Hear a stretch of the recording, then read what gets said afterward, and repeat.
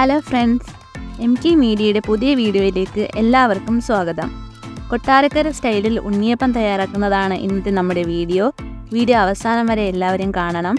Video ഇഷ്ടമായ like ചെയ്യണം share ചെയ്യണം ചാനൽ സബ്സ്ക്രൈബ് ചെയ്ത് സപ്പോർട്ട് ചെയ്യണം കൂടെയുള്ള ബെൽ ബട്ടൺ കൂടി ഇനേബിൾ ചെയ്യണം. ഇനി ഉണ്ണിയപ്പം തയ്യാറാക്കുന്നത് എങ്ങനെയാണെന്ന് നോക്കാം.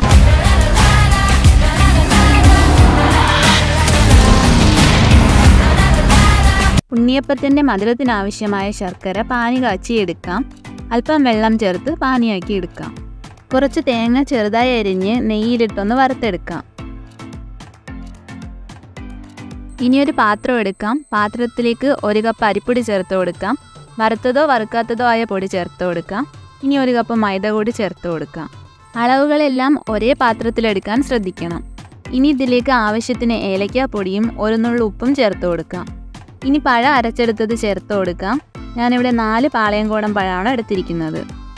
രണ്ട് പപ്പടം പത്ത് മിനിറ്റ് വെള്ളത്തിൽ കുതിർത്തത് വെള്ളം ചേർക്കാതെ അരച്ചെടുത്തതും കൂടി ഇതിലേക്ക് ചേർത്ത് കൊടുക്കാം.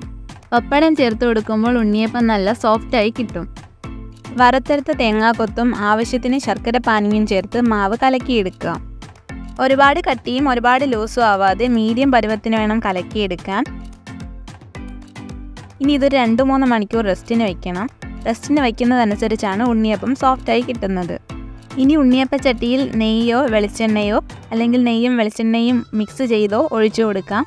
നിറച്ചൊഴിച്ചു കൊടുക്കരുത്. ഇനി മാവ് ഒഴിച്ചു കൊടുത്ത് ഉണ്ണിയപ്പം തയ്യാറാക്കി എടുക്കാം.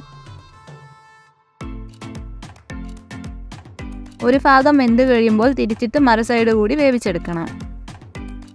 ഉണ്ണിയപ്പം എല്ലാം വെന്ത് വന്നിട്ടുണ്ട്. ചൂടോടെ തന്നെ ഇതിന് മുകളിലേക്ക് പഞ്ചസാര കൂടിയിട്ട് മിക്സ് ചെയ്തെടുക്കാം.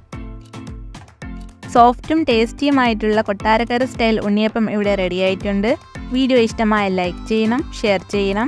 ഇതുപോലുള്ള വീഡിയോകൾക്കായി ചാനൽ സബ്സ്ക്രൈബ് ചെയ്യണം. കൂടെയുള്ള ബെൽ ബട്ടൺ കൂടി ഇനേബിൾ ചെയ്യണം. മറ്റൊരു വീഡിയോയുമായി വീണ്ടും കാണാം.